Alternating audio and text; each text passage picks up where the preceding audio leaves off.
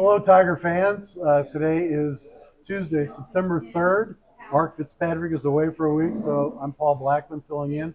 Our guest today is Phil Zeeck, who is leaving presently with Polsinelli, or just finished Polsinelli here in Kansas City, and going to Chicago to be assistant counsel for the Big Ten Conference. And today we've had a great presentation about college realignment. So, first of all, thank you for coming. We appreciate it a lot. Just love being here.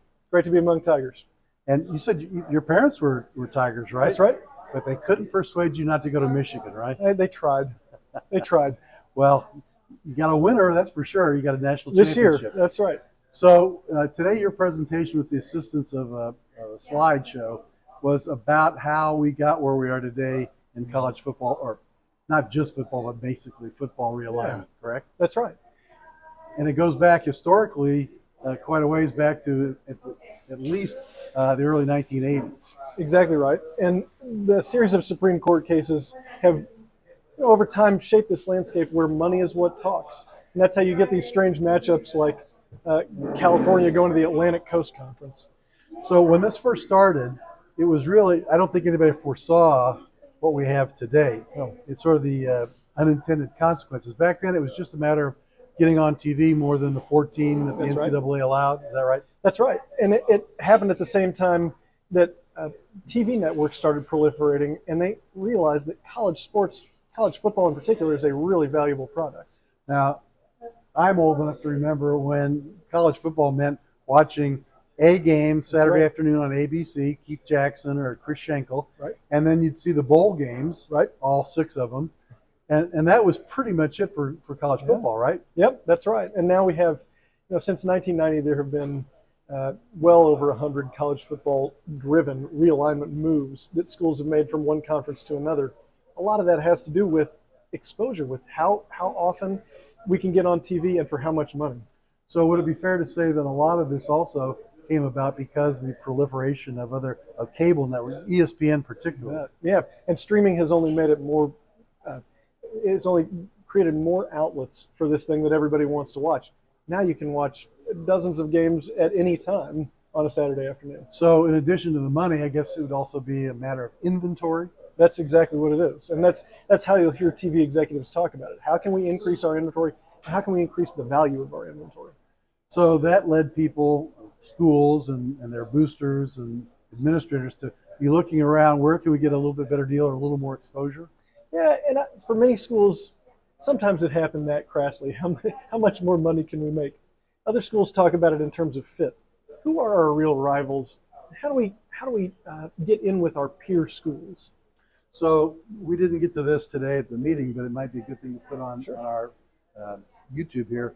Is how did this affect Missouri? What part did this play in Missouri leaving the Big 12 and going to the SEC?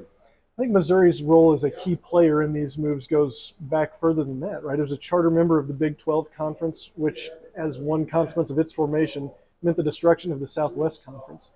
Mizzou played was a huge deal as a member of the Big 12 Conference for many years, and when it decided to leave, I think that was a, an early warning sign for the Big 12's uh, stability in particular to have to have a flagship university take its ball and go to the SEC. And I would think you would think, in retrospect, it was a good move then. Sure, especially financially, right? Nobody can argue with the the additional resources that Tiger Athletics have. That, that may come across as crass, but what it means is more scholarships, more exposure, particularly for women's and Olympic sports, um, more staff members, and a, a better fan experience for Tiger fans everywhere. One last question, Sure. and that is, and I brought this up at the meeting, how do you foresee all the factors we've talked about, money, exposure, inventory, affecting the possibility of a super league? I think it's a very real possibility. Um, you see uh, in commentary about every single um, realignment move, well, what does this mean if football breaks off from the rest of the NCAA? I think Mizzou is really well positioned if that kind of thing happens. Um, and the more financial pressure is put on what are called helmet games, right? Big deal schools playing against one another, uh, the more likely a Super League becomes. Uh, how long down the road would you think that might be a reality? Um, it's hard to say. the The two biggest conferences have TV contracts that go for at least another five years. I'd be surprised to see uh, anything happen before then. But things are moving so fast that I, I think it's anybody's guess. Great. Phil, again, thank you so much for being Yeah, our guest. you, Good luck for you uh, with the Big Ten in Thank you. Chicago. Thanks very much. And um, we'll look for you down the road. All right. Next week, our guest will be Chase Coffman, Missouri All American and pro football tight end. We hope to see you there.